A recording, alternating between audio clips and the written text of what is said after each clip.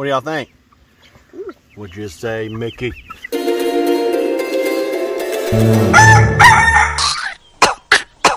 So, this is our chicken tractor. This is going to be our chicken's permanent home as we get ready to bring them outside.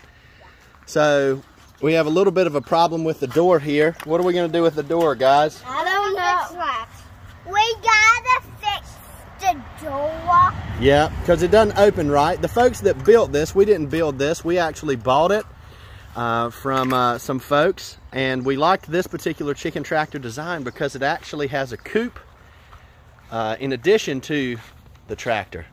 So show us the back of the coop here, Josiah. Okay. So, you unwing just. So undo that and then this falls down.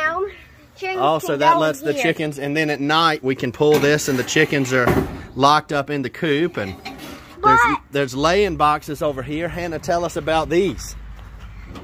This is off. We put some of the chickens down. Yeah, so this will be where they lay their eggs, right? We got to Yeah. clean it out from the previous owners.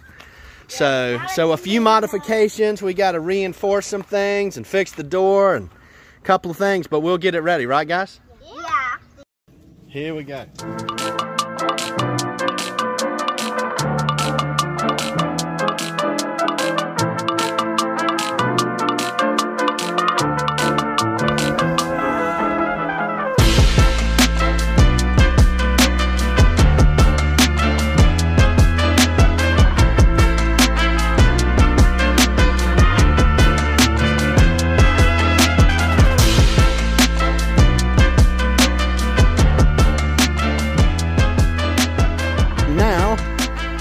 Slide the box over a little closer, Josiah, And then we were showing the and open the box.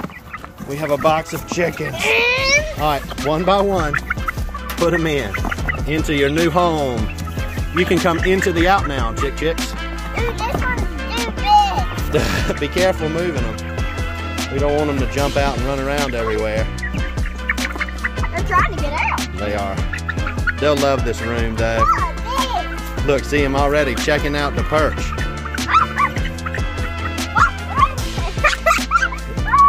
They're excited. Freedom! Freedom! Jazzy, behave yourself. All right, let's shut the door.